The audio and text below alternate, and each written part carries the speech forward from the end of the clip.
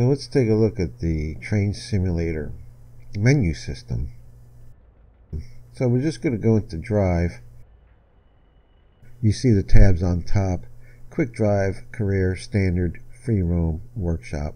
But starting with the standard tab, so you will notice that uh, there is a number of of choices here. It, you have up in the top left corner, you have the loco uh, for selecting the engine you want to use, and the select route for selecting the route you want to be in. Well, these are pre-scripted uh, scenarios. You do not have a choice on both of those items. It's not loco and route. It's either or. You're either selecting the engine and finding which routes uh, are available for that engine that are scripted, or you're selecting the route and determining what scenarios are available and what engines are in those scenarios. You have to look at it this way the, the logic behind these uh, tabs is they're scenario driven. So the scenarios dictate through the scripting of the developer or whoever wrote the scenario where you are and what engine is going to be used. Now, they may have written several scenarios for a particular route to use different uh, engines and trains. You'll also notice that in the standard mode that you can't change the the season, the weather, or the time. That's all scripted within these scenarios. So you're very limited in standard. You're limited to whatever the developer has in the scenario. There's a section here. Uh, once you select your route, and once you select your scenario, it'll tell you the duration, what's expected, the duration, 70 minutes, 50 minutes, whatever it is, and a little bit about the train. You can notice over on the right screen where you see the scenarios coming up that uh, go up and down. The, the one that's in blue um, is the one that's currently selected, and those tabs up there, scenario name and train name, that's just for assorting the uh, ascending or descending by the either the scenario name or the train name. It's just for sorting those. It doesn't uh, do anything other than that. Uh, that you only see the scenarios that are built for the particular route that you have selected. If there's no scenarios written for that engine, uh, it'll still bring up a bunch of scenarios uh, that's the kind of the, the, the mystery of this. It'll bring up a bunch of scenarios, but uh, it'll it'll automatically go to a, another route and another engine because it needs to put something there. And, and I find it very confusing uh, that it does that, but I guess that's better than the whole thing kind of collapsing on you. The career tab is identical to the standard tab with one exception it will give you a, a score. Uh, basically, it's a point system, uh, how well you've done. I do not like the idea that it calls it the career tab.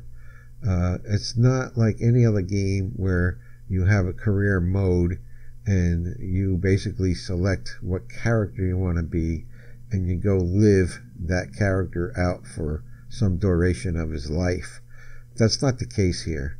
The career tab is nothing more than a bunch of scenarios, that, in fact, usually the same scenarios that are in the standard tab, only when you go through your work orders and you, you accomplish your objectives and you complete everything, uh, it gives you a final performance score and, and rates you on that, and you can look how well you've done if you don't care to have anybody telling you what to do and where to go and how to do it, there's the free roam tab. The free roam tab gives you the freedom with no objectives and no tasks to do. You just uh, hop on the train and run through the scenery, and it's all yours. You can go ahead and switch cars, drop them off, do whatever you want. However, this free roam tab, like the scenario tab and the career tab, has to have pre-built scripted scenarios available. If there's no scenarios written for free roam, you won't be able to, to run in the free roam. So a lot of developers will tell you, yes, we have, as well as we have the standard and career uh, scenarios, we also built you some free roam so you can just explore our route uh, to your liking. A lot of times the free roam scenarios are very limited in what trains you can uh, use. So that's the wonder of the quick drive tab.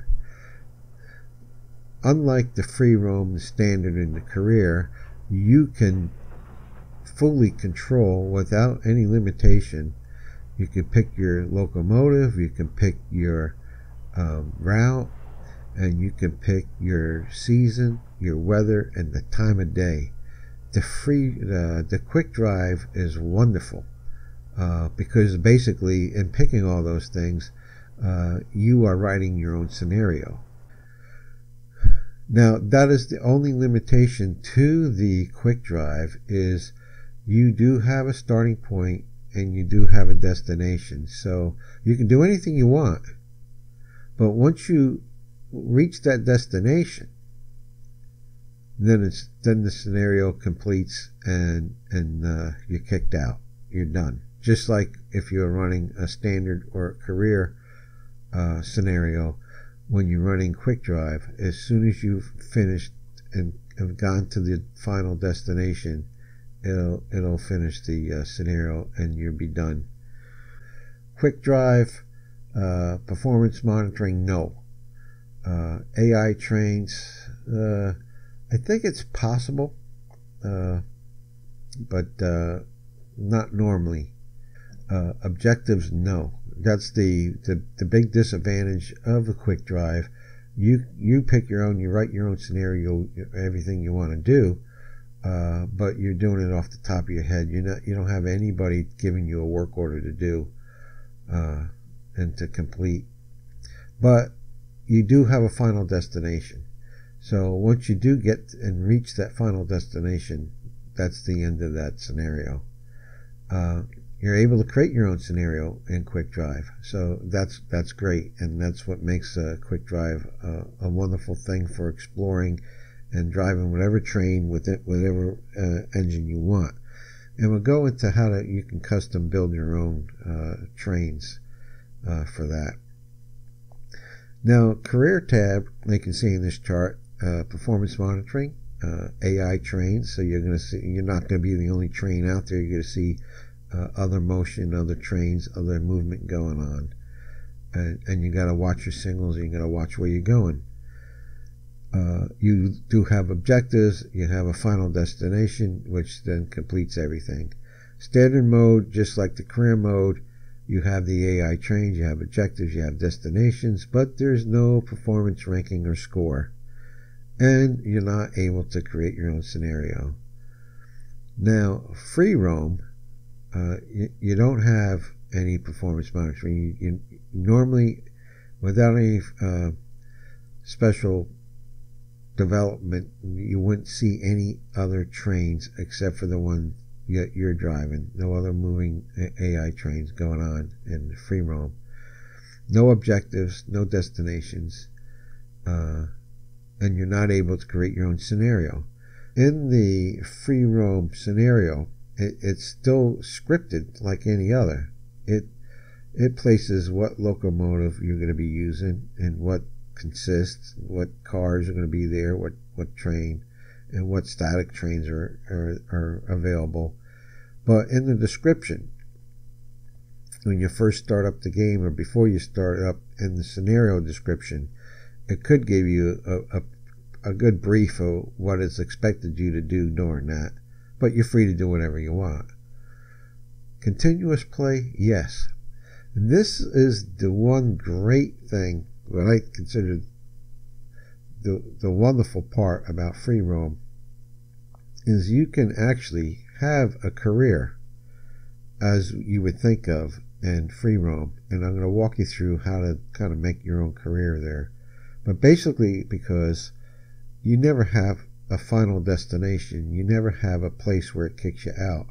You can save and come back and save again and then keep coming back and going through as long as you want days whatever uh, day after day and but you have to have a free roam that is worthwhile uh, for you to come back to there's a lot of features in uh, train simulation that I don't think you can actually take advantage in any other scenario type outside of free roam. Uh, for example, your engines have a limited amount of fuel. Well, if you run a standard career or quick drive, you're going to reach a destination most likely long before you run out of fuel. So free roam uh, gives you the ability to uh, just kind of live forever and just uh, when you're done save and then come back uh, when you want to get back into your uh, quote career and resume where you left off and go back to moving people or moving cars or shuffling things around and and just uh, live a life of until you get bored with it. How to create your own custom train for a quick drive. Choose your season, your weather, your time of day, your route, your your starting point and your final destination, and then choose what locomotive. Now, once you choose your locomotive, over on the right side, you'll see the consists that are available for that locomotive uh, that somebody had uh, built for the purpose of quick drive. In other words, it's quick drive ready, uh, and there's a train uh, available for and consists that uh, that go along with that engine. Now hit the custom tab uh, right there, custom tab, t- custom box, and hit create new. You can double click it or just come down where it says confirm and and uh, you can you can create your own. Now, first thing you want to do is select your locomotive. So I'm going to select a diesel here, and it's going to list all the diesel that you have in your assets and you can go through these until you find the one that you want. So you drop down to diesel, and you may have a long list of diesels to select from. And what's kind of frustrating is that uh, you're going to have a mix of U.S. diesels and British diesels and other countries. And uh, that's why there's a little search box up top there. For steam engine, you're going to have to find the tender. And so the best way to find the tender uh, is instead of running through, and as you notice, the tenders aren't under the locomotive type, they're under the wagon type, as if they're just a regular car. So you have to go to type wagon and to find tender. And I like to uh, write in the search box uh, TEN or tender. Uh, it helps you eliminate all the other kinds of cars and so you only have to go through the to the, the tenders that are um, and so you only have to go through your steam tenders now for the box cars I do a RWA and that elim- eliminates a whole bunch of modern box cars because I know the RWA is for the old 40 foot type cars uh, from a developer that I uh, I got uh, assets from and so I use that search box to really help me filter out and like a caboose or whatever. You could type caboose in here, but uh, in this case, uh, I just happened to come across it, so I was able to build my my train as I wanted. Then you type in the name. Now, I would say use some wisdom here and give it in the name. Uh, for example, that you can identify what kind of engine and what kind of uh, consist you're going to have. It's going to be a freight train, a passenger train. Maybe you can even say what particular type of engine it is. And you can have steam, mixed uh, freight, passenger, or whatever you want. You just type in the name. So I'm making some changes here to make it obvious to me. And then I'll say USA and save. And now, when I want to click on custom, and it'll show all all the custom consists that I've chosen. And then I can click on that and add it right into my quick drive. Oh uh, that steam engine is the consolidation. And 40 foot old time cars whatever you want to put in there if you don't like you can always edit delete however you want to do it and that's how you do a custom. Now I promised you I want to talk to you a little bit about how to build a career uh, and doing so using the train uh, instead of using use the free roam tab instead of using the career tab. So what I like to do is uh, go into uh, the free roam and uh, so we're going to find the scenario that uh, that we like. And one that if you go down the scenarios you can see different seasons times of day and weather current weather. Uh, usually we show you as you go through the scenario on that route which engines are available. Find one that you would really would like uh, to do a career in so now that I know the name of the scenario I'll go to the scenario tab in the build mode scroll through the different uh, scenarios and they're sorted by route so. Alright, once we find the sorting through the route, once we find the scenario that we had decided we liked in the free roam environment, make sure it says free roam up there and we can find that same scenario that we want to build a career with and then select it and then hit the clone. See now there's a clone button down on the bottom of the page and you want to clone that scenario. Uh, now what I do is I like to give this a career name. Uh, give it a name like, uh, well, you may want to just say career and then keep the same uh, scenario name as before. So all your careers come up together and up top uh, of your scenarios so you don't have to go searching through all the scenarios. So then uh, once you give it the name, you hit clone and go back out of build into drive, go to the free roam tab, and you see how careers coming up on top. And what's nice about this is you can always you're not really touching the uh, the original developers um, scenarios. They're still available if you want to just fool with those but you have an exact copy with your career one and now you can uh, every time you've you want to get back into it uh, you can just resume where you left off provided you did a save uh, each time uh, you left off at, a, at an appropriate place. So you can develop your own work order.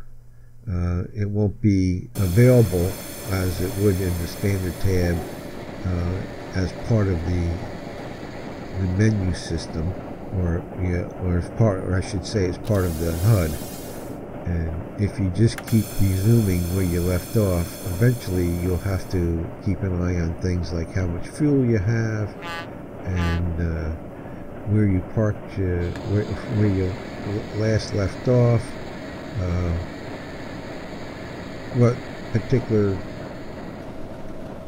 trains are, or at what locations uh, within this within the uh, route. The 2D map uh, is really nice in that uh, you can get familiar with the whole route you're switching, and uh, that, that blue line is basically showing you which way your train is heading up to a certain distance. Uh, but you notice that on the 2D map there's also uh, spots where the track turns uh, yellow. That's your storage tracks. Uh, and there's uh, some areas where the, tr uh, the track is highlighted green. That's your passenger pickup and your, your stations really. so you, you can take a look at the route and see what kind of passenger stations there are uh, what kind of storage tracks are available. So maybe before you do your uh, clone of a particular route, you're going to want to look at the 2D uh, view of it. Make sure you have plenty of uh, places to uh, drop off and pick up cars and places and stations for passengers gives you complete freedom to go do all the switching you want to do. Uh, this is all provided that the free roam scenario you decided to clone for your career has plenty of static cars throughout the route. So you want to go uh, so determine what route you want to have a career in and then go into each of the actually enter each of the developer scenarios that are pre-scripted and then go into the 2D map. And, and then look and see what uh, how much switching can be done how many spurs there are uh, industries there are and stations there are uh, to determine whether that uh, that route is going to be worthwhile to make a career out of. So um, I like this particular developer's route uh, for the old time trains. You see me driving the RS1. Uh, it's a got plenty of places to switch, uh, plenty of places to drop off passengers, do different things. Finding scenarios with plenty of uh, static cars is, is, is challenging. So if you're not able to do that, then and you have a route you like, then that's when you have to go and get beyond the navigation of the. Uh, that's when you're going to have to go into build mode and learn how to to add trains to your to your free roam scenario. File Explorer, and you can navigate to the train simulator folder, and then there there's a subfolder called manuals and then you find a PDF of the Train Simulator 2017 manual, and that is a pretty extensive uh, manual on how all the things work in Train Simulator. So there's some additional help for you if you still have questions.